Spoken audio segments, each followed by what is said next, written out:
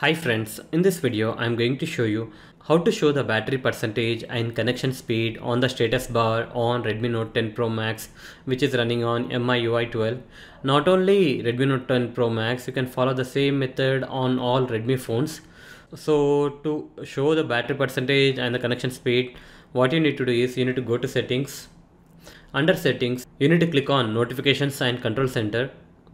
Under that you need to scroll down at the bottom you will find an option called as status bar. Click on that. First uh, let's try to turn on the connection speed. You need to enable this option show connection speed. Now here you can see the connection speed at the to top left. And let's change the battery indicator style. Currently it is graphical. I'm going to select a percentage inside. Here you can see the battery percentage inside if you can see properly.